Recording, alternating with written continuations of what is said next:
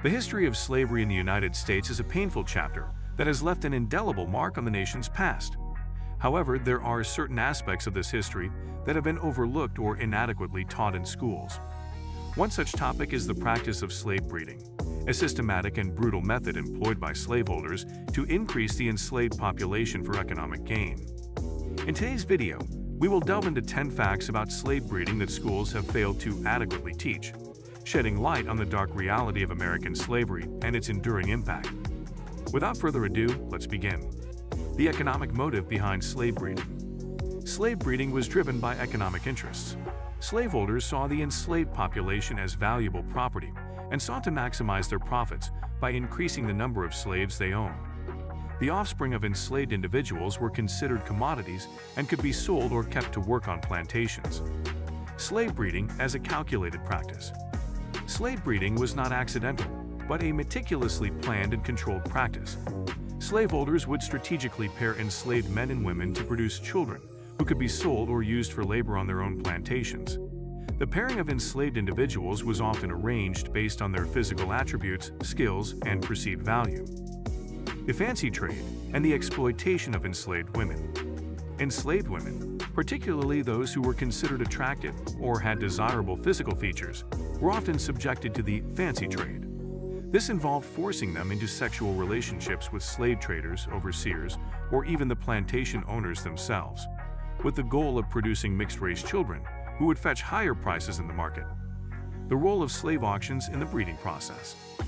Slave auctions were not only about selling individual slaves but also served as a marketplace for buying and selling enslaved individuals specifically for breeding purposes. Slaveholders would attend auctions with the intention of acquiring men and women capable of producing strong and healthy offspring. The separation of families and the disruption of parent-child bonds. Slave breeding often involved separating enslaved individuals from their families. Men and women would be forcibly separated from their spouses and children, sold to different plantations, and subjected to brutal conditions that made it nearly impossible to maintain family ties. This deliberate disruption of familial bonds perpetuated trauma and further dehumanize the enslaved population. The psychological impact on enslaved individuals. The knowledge that enslaved individuals could be bred like livestock took a severe toll on their psychological well-being. The constant fear of being forcibly paired with someone they did not choose, the loss of autonomy over their bodies and reproductive choices, and the perpetual threat of having their children taken away inflicted deep emotional scars. Enslaved individuals experienced various forms of trauma, including physical and sexual abuse, family separation, constant fear, and witnessing violence against themselves and others. This trauma often resulted in symptoms consistent with PTSD, such as flashbacks, nightmares, hypervigilance, and emotional distress. Enslaved individuals lived in a perpetual state of anxiety and fear due to the arbitrary and brutal nature of slavery resistance and resilience of enslaved communities. Despite the horrors of slave breeding, enslaved individuals demonstrated remarkable resilience and resistance. They found ways to protect their families, preserve their cultural traditions, and resist the dehumanizing effects of the system. Slave breeding only served to reinforce their determination to fight for freedom and a better future. Enslaved individuals retained and preserved elements of their African cultural heritage, including language, music, dance, storytelling, spiritual beliefs, and traditional practices.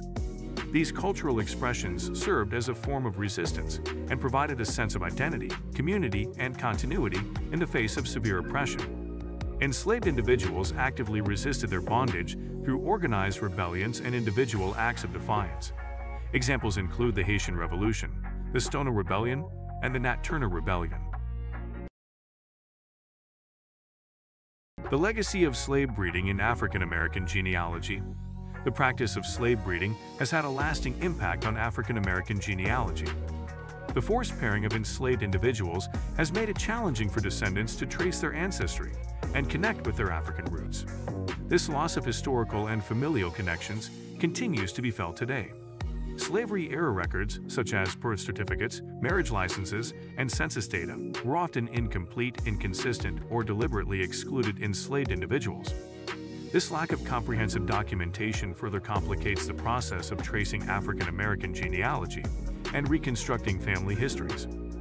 enslaved individuals were frequently subjected to name changes by slaveholders, severing their connections to their African origins and ancestral names. The adoption of new names often reflected the desires or whims of slaveholders, making it difficult to trace lineage and reclaim lost family identities. The erasure of slave breeding from historical narratives. The omission of slave breeding from mainstream historical narratives has contributed to a distorted understanding of American slavery. By neglecting this aspect of the institution, schools have perpetuated a sanitized version of history that fails to address the systemic nature of oppression and the lasting effects it has had on generations of African Americans. Historical narratives often focus on specific aspects of slavery, such as plantation life, labor exploitation, and abolitionist movements, while neglecting the systematic practice of slave breeding. This selective approach has obscured the full extent of the exploitation and dehumanization experienced by enslaved individuals. In the aftermath of the Civil War and Reconstruction era, there was a concerted effort to suppress the true history of slavery. Southern states implemented laws and policies that aimed to control and limit the education and representation of African Americans, thereby perpetuating the erasure of slave breeding from public memory. The importance of acknowledging and confronting the truth. Acknowledging the reality of slave breeding is crucial for a comprehensive understanding of American history. By confronting this painful chapter, schools can provide a more accurate portrayal of the experiences of enslaved individuals, recognize their agency and resistance, and foster a more empathetic and inclusive society. In order to have a comprehensive understanding of history, it is essential to acknowledge and confront all aspects, even the most uncomfortable ones. By omitting or downplaying the practice of slave breeding, historical education perpetuates an incomplete and distorted narrative.